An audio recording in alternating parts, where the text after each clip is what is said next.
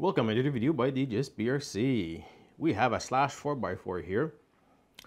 Um, I want to show you how to remove your back bumper to be able to replace it with an aftermarket one, worst case scenario, or put the same one back that's not broken. Couple, couple of uh, not difficult steps here.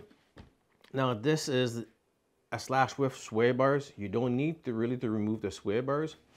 The only thing you would need is on the back bumper, you'll have two screws here to remove and two more here.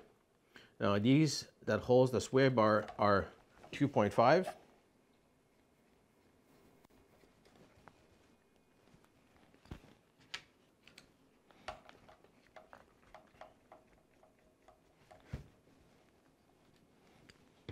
And you'll notice the sway bar just physically starts moving. I'm not sure if you can really see it. And it just starts moving here. Now we'll have two more screws here and those are two mil.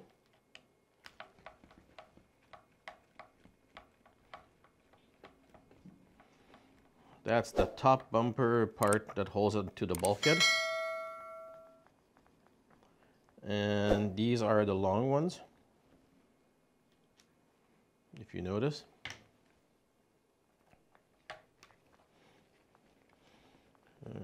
Remove the other one.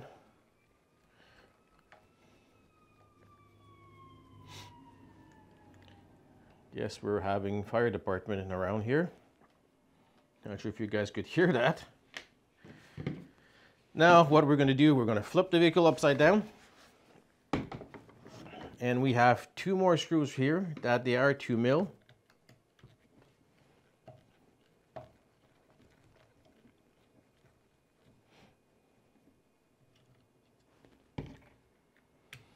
And these two guys are very short at least.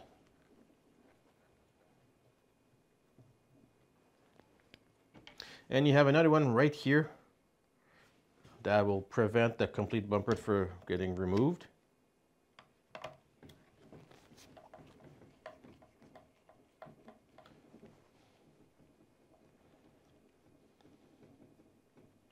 Now, some aftermarket bumpers may not need to be rescrewed at the same place. The ones that I know of, yes, and that's a long one too. And if you see it right now, it wiggles out of this way. And you just remove it. You'll have your bumper aside. Now just be careful, there is the uh, pins retainer right here, that's in blue. Super easy to lose or just to drop. What it does, it keeps your the two pins from getting separated and holds them there at the same time. And then you grab your new bumper, if it's the same from Traxxas. Here, it might be hard to see. It's kind of a, a keyed insertion. Those inserts right here. What I do, basically, I come like an angle underneath here and just kind of popped it. And when that's in, I'll do the middle one. Because that way, pretty much holds it there.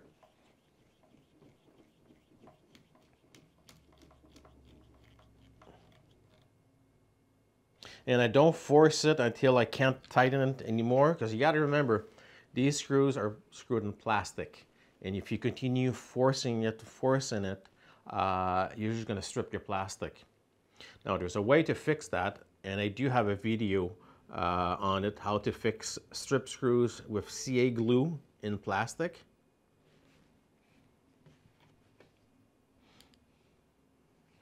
No, we're just going to rescrew this one here.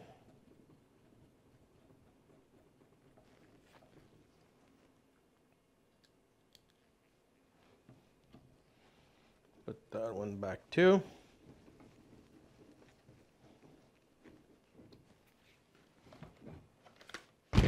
Flip the vehicle over.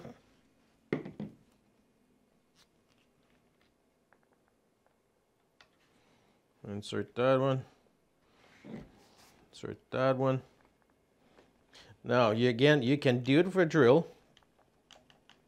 Just make sure your drill that you have has a clutch on it And I would say to maybe, depending on the brand of it, I have a Ridgid, the small Ridgid drills, uh, and I put on number one. And I'm used to it now. I know exactly, basically start slowing down on the trigger, preventing stripping. Because even sometimes on setting number one, that's the lowest for the clutch to start slipping. I strip some screws sometimes. I got just got used to it. But nothing beats uh, the old-fashioned way with a screwdriver in your hands and just turning a wrench. Now what I'm going to do is grab my screw from my sway bar, the correct size, 2.5, and if you notice, there is a key here again that the sway bar sits in it.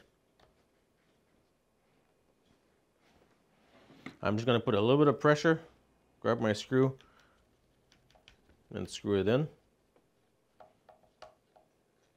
And when I feel that's tightened enough, I'm going to stop.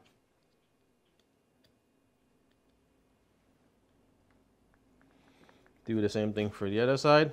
Don't need to hold it this time.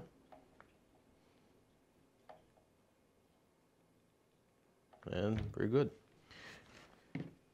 And you would have your brand new bumper on it. Now, if you guys have any questions or comment, post them below. I'll be gladly to answer you guys. And don't forget, if you like this video, hit the thumbs up in the corner. I do appreciate that and does help a lot. And don't forget to subscribe. Thank you for watching.